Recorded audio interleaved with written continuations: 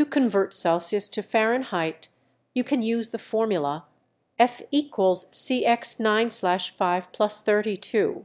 Using this formula 34° Celsius is equal to 93.2° Fahrenheit. To convert the Fahrenheit back to Celsius you can use the formula C equals = F32x5/9. Applying this formula to 93.2° Fahr. We get approximately 34° C. Comparing the result with the original temperature we can see that it is the same, indicating that the calculations are correct.